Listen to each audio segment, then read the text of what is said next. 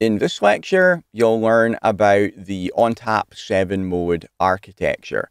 7 mode is a legacy operating system from NetApp that isn't available anymore. So if you're wondering, well, why am I covering it here then? There's a couple of reasons for that. First reason is that there's still a fair amount of 7 mode systems out there in the field, so it's good to understand them because of that.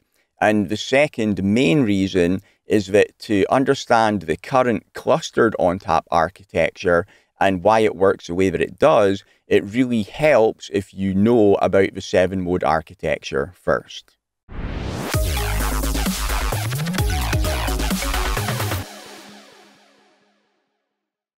ONTAP used to be available in two different modes at the same time.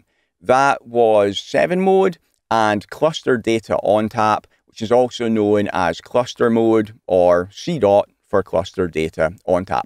The current implementation of ONTAP is the clustered version. Both modes did exactly the same job. That is acting as the operating system and controlling everything on the storage system. And when you bought a FAS hardware platform, you had the choice. You could either buy it running as 7 mode or running as clustered. Because it's the operating system, it's one or the other. You couldn't run them both at the same time. You had to make a choice. 7 mode evolved from NetApp's original operating system that was Data ONTAP 7G.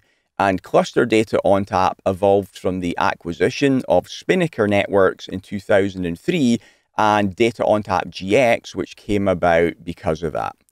Now, you're hopefully wondering why would NetApp have two different operating systems doing exactly the same job running on exactly the same hardware? That seems kind of strange, right? Well, the reason is that there was a limitation with both versions. Cluster mode was more scalable than 7 mode, but the early versions of cluster data ONTAP were limited in features compared to 7 mode.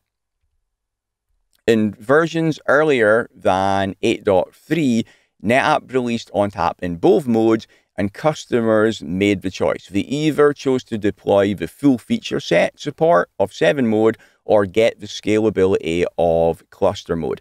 But they couldn't get the best of both worlds. We had to make a choice at that point. NetApp worked towards having one operating system which did provide the best of both worlds. And they worked on achieving feature parity for cluster mode in each new software release. And from version 8.3 of ONTAP, they achieved that. So now there is just the one version, which is the clustered ONTAP. That has got the scalability and it's also got the full feature set as well. So now you don't make the choice, best of both worlds, you're going to be running cluster data ONTAP. And because there is only one version now, they've simplified the naming and it's simply known as ONTAP now.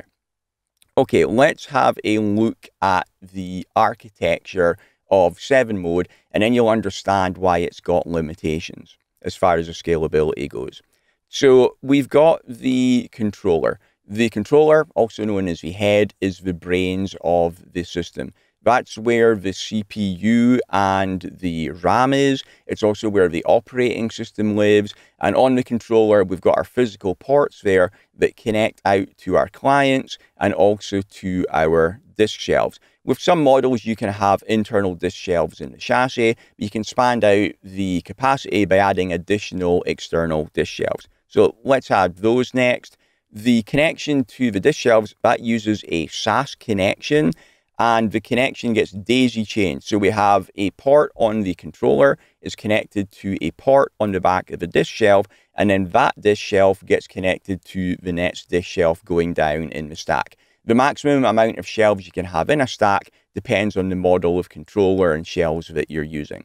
Now, if you look at the diagram here, you can see that there's a single point of failure there as far as the connectivity to the disk shelves goes. If any of the cables fails, then we lose connectivity to all of the disks below that. So to get redundancy for the connectivity to our disk shelves, we have a second connection going down to the bottom shelf in the stack. Now, if any one single cable fails, we can still get to all of the disks in the system there. Okay, next thing is there's another obvious single point of failure there, which is the controller. So you can run on some models of FAS systems with a single controller. But real world, typically your data, your storage is going to be mission critical. You're not going to want to have any single points of failure. So for that, you will put in another controller to give you redundancy for your controllers. Now, a quick note here, looking at the diagram. In most of the modern platforms, two controllers fit inside the same chassis. But in the diagram here, to keep things simple, each controller here is a single controller. Okay, so it's one chassis, but there's a single controller in the chassis. So over here on the left, we've got controller one and its disk shelves. And over on the right, we've got controller two and it's got its own disk shelves as well. Now, obviously, we're going to need to connect them to get the redundancy. We want the, the disks, the data on the disks to be available if either controller fails. So to enable that, we can connect controller 1 to controller two's disk shelves. We connect it to the top shelf in the stack. That gets daisy chained down. And again, we've got that second connection. That's our MPHA, multipath high availability connection. And we also need to do the same thing from controller 2 going to controller 1 as well. So now if either controller fails, we've still got connectivity to all the disks with all the data on there. We put another connection in between our controllers. That's the HA, high availability connection. The controllers send each other keep alives over there. So if the keep alives aren't received, the controller will realize the other controller must have gone down and it will take over. Okay, let's look what happens under normal operations. So you can see here under controller one, we've got a set of data, data set one, which is owned by controller one. In ONTAP, both 7 mode and the current clustered ONTAP as well, the disks are always, always owned by one and only one controller. Now, the ownership can move if need be, but the disks are always only owned by one controller at a time. So you can see here for our dataset 1, it's on disks which are owned by controller 1. Controller 1 is connected out to the network where we've got the clients. Whenever a client comes in, to use that data, the incoming network connection is going to terminate on controller one. With 7 mode, for a single set of data, the networking is active standby.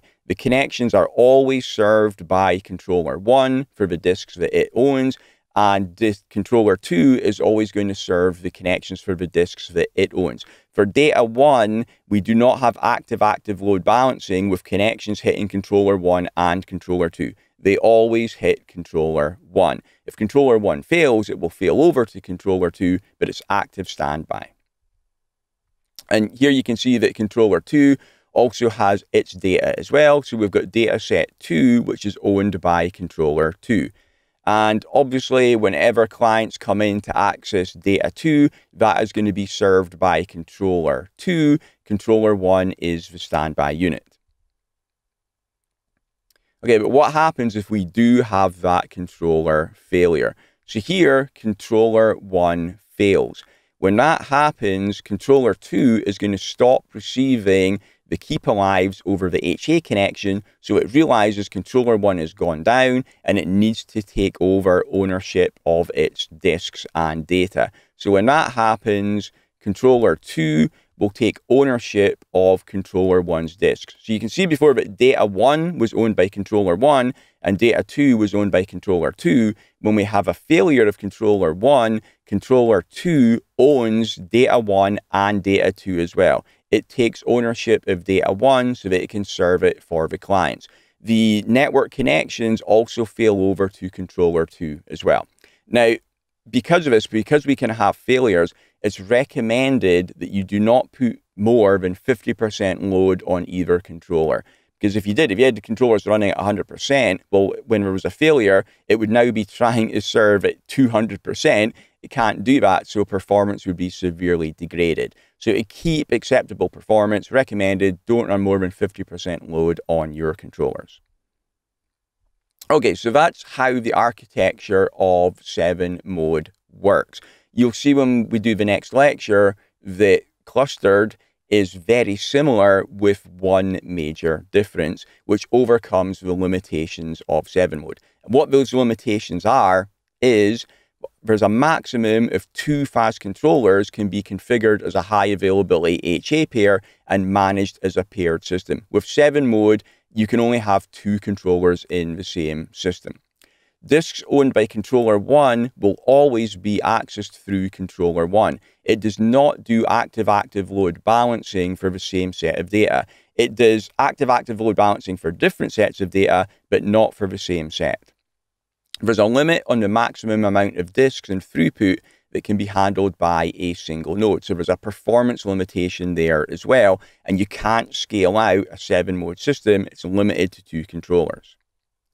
You could scale out by purchasing additional HA pairs, but they would be managed as separate systems, which is obviously going to be inconvenient from an operational point of view. It's easier to manage one system than it is to manage multiple different systems. They'll also appear to clients as separate systems as well, which again is going to make it more complicated to manage from an operational point of view. Data can be moved easily and non-disruptively between disks on the same controller in 7 mode, but moving data between the two different controllers in the HA pair or between different 7 mode systems is disruptive to client and more complicated. Okay, so those are the limitations of 7 mode. You've seen the way that the architecture works as well. In the next lecture, I'll cover the cluster mode architecture and you'll see how it overcomes those scalability limitations. Thanks for watching. If you want to get hands-on practice with NetApp storage, you can download my free How to Build a NetApp Lab for Free ebook. It's got full step-by-step -step instructions on how to build a complete NetApp lab and best of all, you can run it all for free on your laptop. And if you want to get my complete NetApp course, which covers everything you need to know about NetApp storage, you can check out the other video that you can see here too. Thanks.